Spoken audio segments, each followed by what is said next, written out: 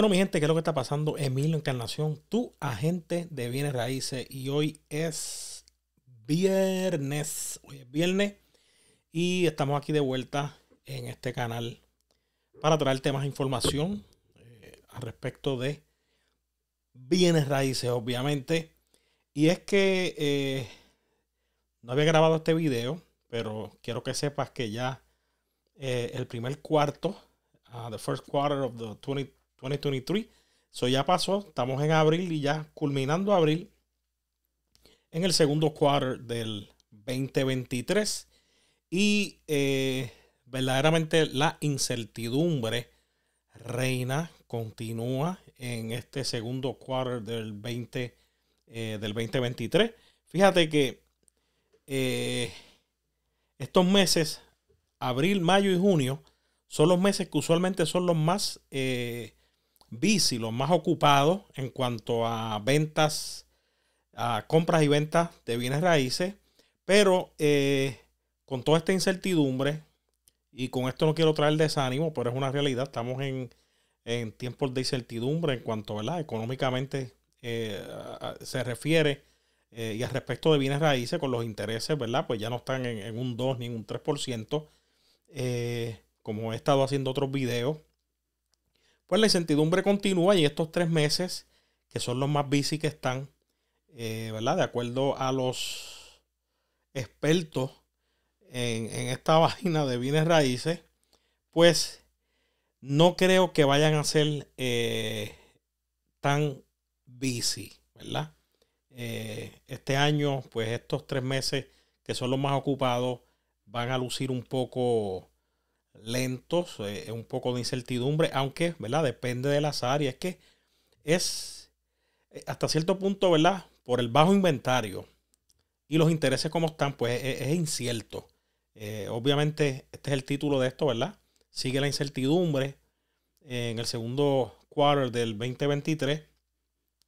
En estos días estuve llevando, estoy trabajando con un cliente inversionista y fuimos a ver una propiedad en el área de Hamden, eh, en el campo, bien arriba,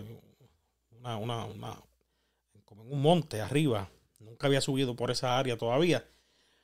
Eh, y en esa propiedad hubo sobre, hablé con la listing agent, hubo sobre 90 showings. Sí, 90 showings. Y a la hora de las ofertas, sometimos una oferta y quiero que sepas que hubo 30 ofertas en esa propiedad. En abril, ahora terminando este mes. Y yo estoy diciendo a, ti que está lento. Pero es porque eh, hay bajo inventario. Eh, los intereses pues están en un 6.4, 6.5. Los expertos no ven los intereses bajar. Si los intereses bajaran, pues sería otro, otros 20 dólares, otros 20 pesos, como decimos nosotros.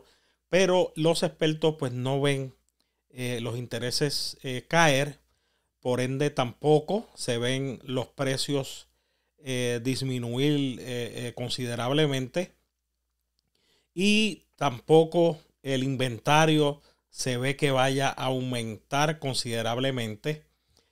simplemente se está viendo un poco más de inventario, pero es porque las casas, a pesar de todo, se están tardando un poco más y se van a continuar tardando vender. Y por eso es que podemos decir, pero si hay dos o tres casas, sí hay dos o tres casas, pero se, están tardando eh, en vender. Eh, de la única manera es que, que los intereses bajasen.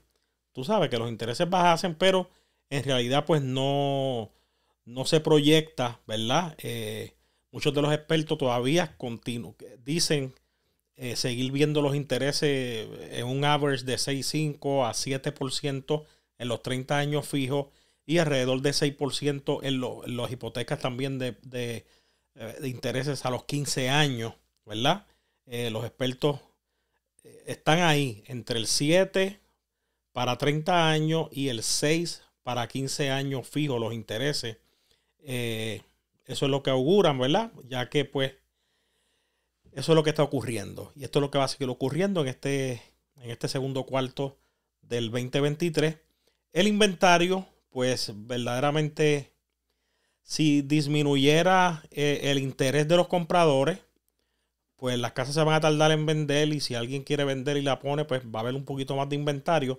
Pero de lo contrario, eh, todavía pues quedan en el mercado compradores, ¿verdad? Que todavía pueden eh, comprar, ¿verdad? Que de acuerdo a su presupuesto, como he estado diciendo, si su presupuesto le da, ¿verdad? Para los intereses, comprar según los intereses como están y a los precios que puedan, que están las casas hoy día, pues esas personas, pues obviamente yo les digo que, que compren, ¿verdad? Que compren, pero si usted es uno de ellos que su budget no le da, eh, en el área donde usted quiere comprar no hay mucho inventario, eh, y usted pues no piensa, piensa, no, no piensa quedarse en esa casa 6, 10, 15 años, pues yo les recomiendo, ¿verdad? Pues que trate de buscar un alquiler, siga alquilando, eh, negocie, ¿verdad? El alquiler, trate de buscar un alquiler que se ajuste a su presupuesto porque también los alquileres están muy altos, altos también, ¿verdad?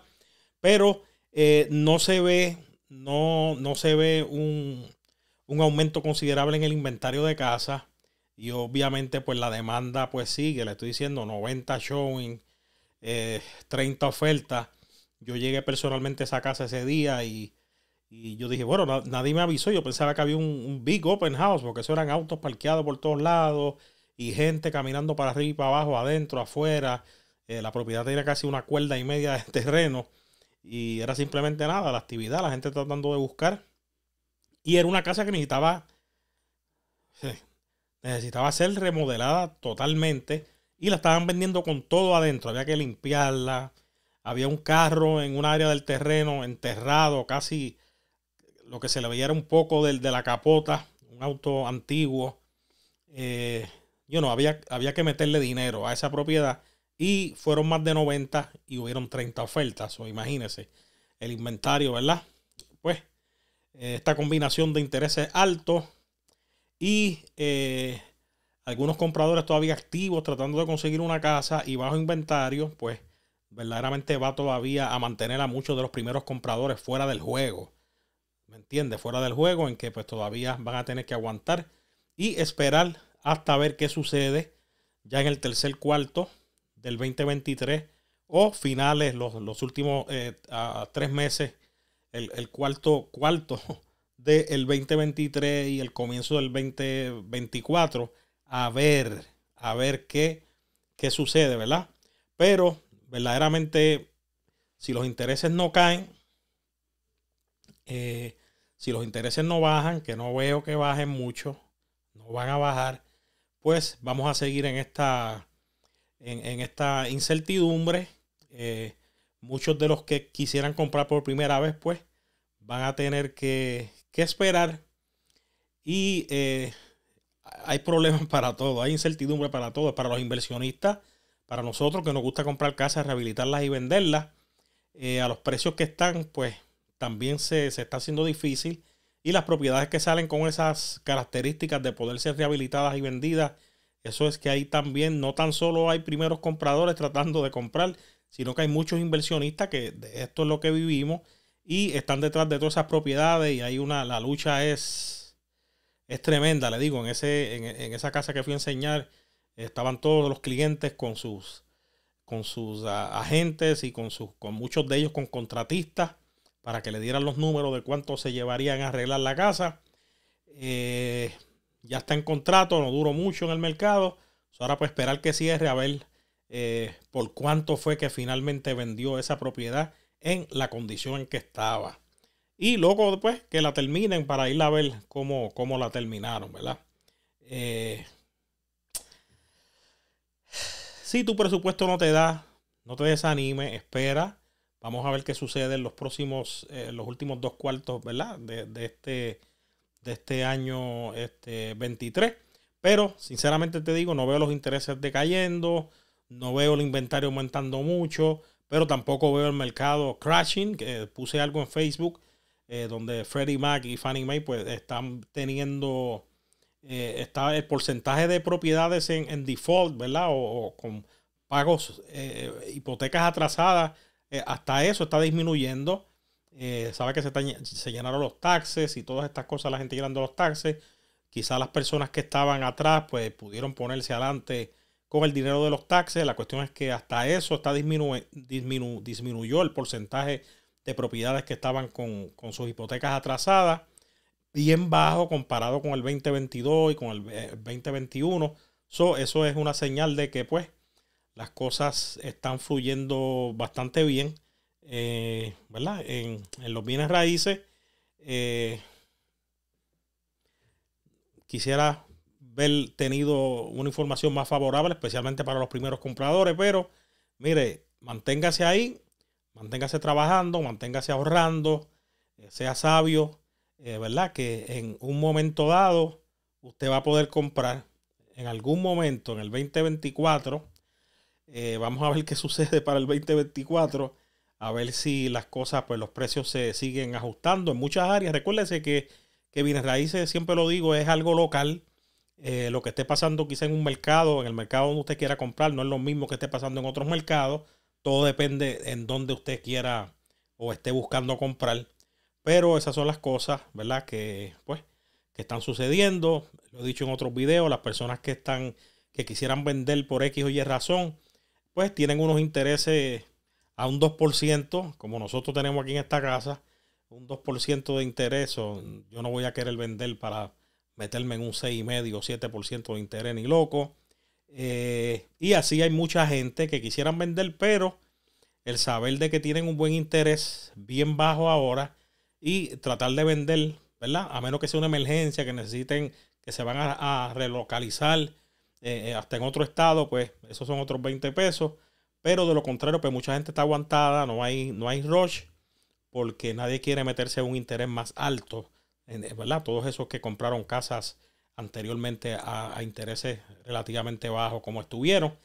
pero los primeros compradores, manténgase ahí, siga ahorrando su dinerito, eh, consígase una renta, ¿verdad? Si usted está rentando y su renta está razonable todavía, pues quédese ahí, ¿verdad? Hanging there, quédese ahí, trate de ahorrar eh, lo más que pueda, que en el momento en que las ventanas de los cielos se abran y usted pueda entonces comprar, pues eh, usted va a ver que va a estar más cómodo, va a tener más efectivo para poner down payment, para gastos de cierre, etcétera, y poder conseguir eh, un buen deal a la hora que en realidad pues usted pueda, pueda comprar. Pero nada, no hay market crash, siempre se lo dije. recuerdo el 2022 y 2021, 2022 que auguraban el mercado se va a caer, el mercado y pánico y habían miles y miles de videos eh, en YouTube hablando sobre que el mercado iba a caer, iba a haber un market crash tremendo. Pero nada, no ha sucedido, no creo que vaya a suceder todavía. Eh, pues así es esto, ¿verdad? Eh, hay, que, hay que seguir. Pero sí, siempre les recomiendo, recuérdense, no importa usted guarde dinero, manténgase ahí, invierta en bienes raíces, no invierta en cosas que deprecien de valor. Eh, el mercado sube, el mercado baja, pero sinceramente le digo que bienes raíces es la mejor inversión. Se lo digo yo que he estado en, ¿verdad? en todas estas cosas. Eh, tuve casa cuando el mercado estaba bien bajito. tenía la casa cuando el mercado subió. Vendimos. Eh, compramos esta propiedad cuando, eh, eh, cuando el mercado bajó, luego el mercado crash en el 2007, 2008.